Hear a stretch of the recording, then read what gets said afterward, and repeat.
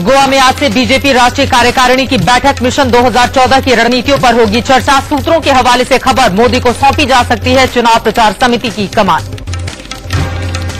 राष्ट्रीय कार्यकारिणी की बैठक से पहले बीजेपी में मोदी का गुणगान, महासचिव रूढ़ी के बाद गोवा के सीएम बोले 2014 में जीत के लिए मोदी ज़रूरी। कुंद्रा के सट्टेबाजी कनेक्शन पर बीसीसीआई ने 10 जून को बुलाई इमरजेंसी मीटिंग। बीसीसीआई के अंतरिम अध्यक्ष डालमिया ने कहा ज़रूरत पड़ने पर कुंद्रा पर की जा सकती है कड़ी कार्रवाई। चैंपियंस ट्रॉफी के बाद धोनी पर लगे आरोपों की भी होगी जाँच। से राघवन को बनाया गया पाकिस्तान में भारत का नया उच्चायुक्त। शरद सभरवाल की जगह लेंगे राघवन। इस्लामाबाद में भारत के उच्चायुक्त रह चुके हैं।